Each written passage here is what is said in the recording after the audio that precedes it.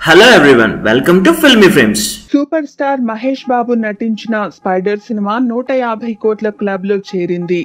ప్రపంచ వ్యాప్తంగా ఈ సినిమా వసూళ్ళు నూట యాభై కోట్ల మార్కు దాటాయని ట్రేడ్ రిపోర్ట్స్ ద్వారా తెలుస్తోంది. ఎంతో కాలంగా అభిమానులు ఆసక్తిగా ఎదురు చూసిన ఈ చిత్రం దసరా కానుకగా సెప్టెంబర్ ఇరవై ఏడున విడుదలైంది. భారీ అంచనాల మధ్య రిలీజ్ అయిన ఈ సినిమాకు నెగటివ్ టాక్ వచ్చింది. అయినప్పటికీ ఈ సినిమా పన్నెండు రోజుల్లోనే నూట యాభై కోట్ల మేర వసూళ్ళు రాబట్టడం విశేషం. భారీ స్థాయిలో విడుదలైన ఈ సినిమా ఐదు రోజుల్లోనే నూట రెండు పాయింట్ ఆరు కోట్ల గ్రాస్ రాబట్టింది.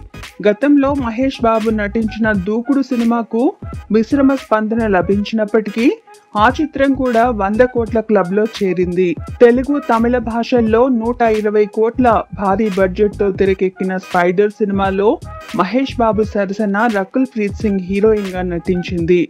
నటుడు డైరెక్టర్ ఎస్జే సూర్య విలన్గా నటించారు.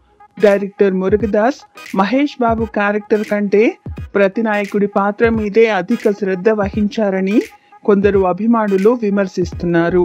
ఈ సినిమాలో మహేష్ బాబు శివ అనే ఇంటెలిజెన్స్ ఆఫీసర్ పాత్రలో కనిపించారు. ఈ వీడియో మీకు నచ్చినట్లయితే లైక్ చేయండి షేర్ చేయండి. మరిన్ని గాసిప్స్ కోసం సబ్స్క్రైబ్ చేయండి.